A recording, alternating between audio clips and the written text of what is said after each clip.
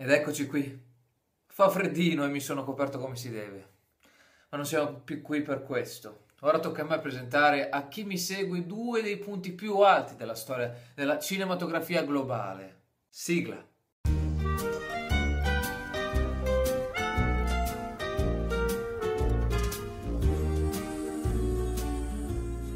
Ah, due film che non hanno segnato la mia infanzia, ma che hanno fatto scoprire in me un lato fanciullesco che pensavo avessi perso per strada.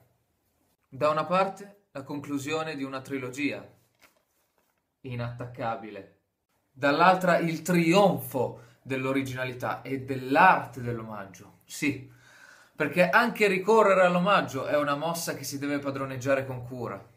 Grazie a questi film, la commedia, il dramma, la fantascienza, il film romantico esplorano una nuova dimensione. Gli orizzonti si ampliano, abbracciano una frontiera mai scoperta sino ad ora. L'animazione irrompe finalmente nella nostra coscienza e la scuote.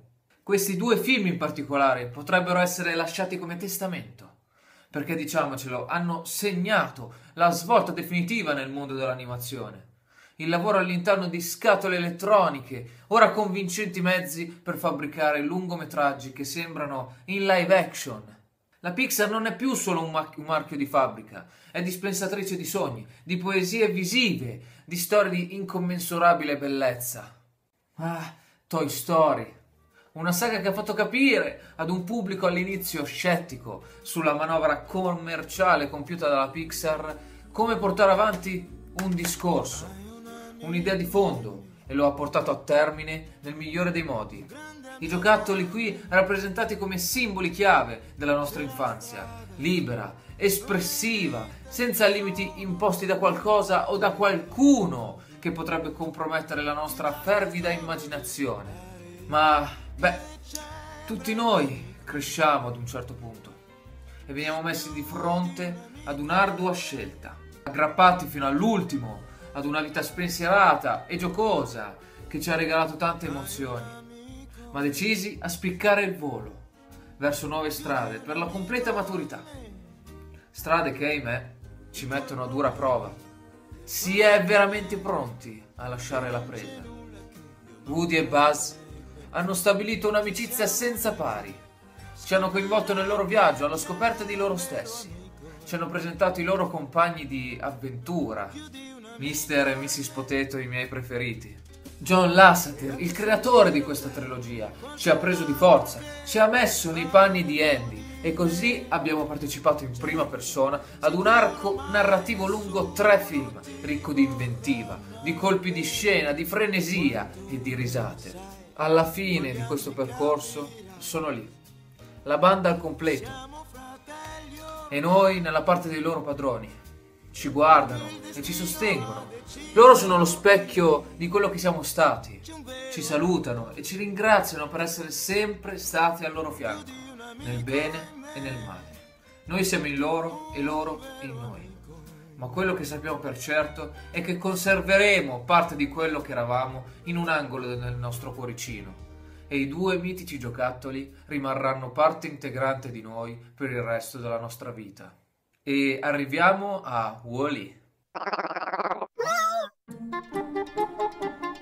Tenero, adorabile robot, sostenitore di una causa forte da trasporre al cinema. La natura non deve essere contaminata dalle scorie che noi vi riserviamo per essa. Un sacro componente del nostro pianeta mai così distrutto per colpa di nostri errori. Un film d'animazione, sì, ma con uno sguardo agghiacciante a quello che potrebbe benissimo capitare sulla Terra se noi non dessimo sufficiente occhio di riguardo a ciò che ci circonda. Ci limitiamo quindi a scappare, a lavarci le mani, persino in un disastro ambientale di questa portata. Chiusi in una stazione orbitante, rincoglioniti davanti ai monitor che lavorano per noi e noi che non alziamo un muscolo ingrassati e incollati su degli sdrai galleggianti, aspettando di creparci lì sopra. Un essere invece fatto di metallo e parti decomposte che si rivela il nostro salvatore. Eccolo qui per noi, Wally. Le hanno riservato una presentazione di 40 minuti eh, all'interno del film, un omaggio. Eh, esplicito a Charlie Chaplin, maestro del cinema muto. Quest'ultimo mise in scena le luci della città. Wally invece rappresenta la luce del pianeta, il destino dell'umanità nelle mani di un semplice spazzino del globo terrestre. Luce di speranza, ma anche di un'altra cosa di un sentimento che tende ad essere via via sempre più malinterpretato. È l'amore. L'amore improvviso per la robottina laccata e potenziata in ogni suo particolare, Yves.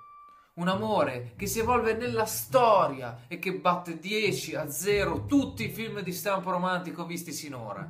Una relazione che esplode in una delle scene più belle e suggestive mai viste in una sala cinematografica danza nello spazio, signori e signore.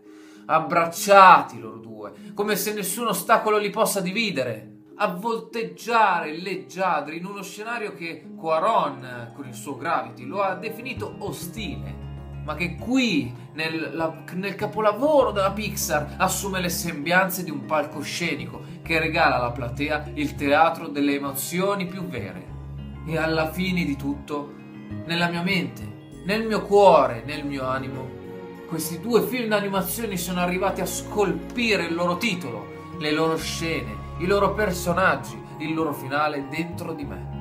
Prendo questi DVD e guardo alla vera evoluzione del cinema dell'età postmoderna.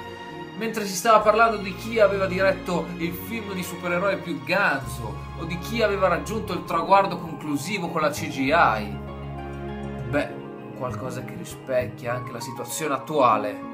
Io credo in un cinema che mette ancora in primo piano la sostanza e lo sviluppo di un soggetto di indiscutibile valore e originalità. In un cinema che pone allo stesso livello la grafica e la potenza emotiva, narrativa, che viene sprigionata da interpreti che recitano meglio di attori in carne ed ossa in un cinema che rispetta il lavoro compiuto nel secolo scorso e che alza l'asticella della spettacolarità con il compito di sconvolgerci e interessarci ancora alla settima arte. Io credo ancora nei cartoni animati che non devono niente, niente al progresso di questo mondo, ma che sanno ancora donare il massimo di ciò che questo mondo può offrirci una delle poche ragioni per la quale esclamare meno male che sono nato negli anni 90, ho potuto godere della visione di questi capolavori. Sono dei maledetti capolavori. Credete che stia esagerando? Allora, non amate il cinema come lo amo io. Siete d'accordo con me? Allora ho bisogno di sentirvi e di sapere se anche per voi questi sono i film Pixar preferiti e cosa vi hanno trasmesso queste perle indimenticabili. Qui Antonio Cianci, il raccattafilm ha finito. Una recensione piuttosto insolita, è un video che avevo intenzione di fare da un po' di tempo a questa parte. Spero di mettermi in contatto con voi per parlare di questo argomento che mi sta particolarmente a cuore. E beh, ci vediamo alla prossima video recensione o classifica. Vediamo un po'. Un ringraziamento particolare a chi mi sta seguendo nel canale. Un saluto a tutti. Ciao alla prossima e viva i film di animazione.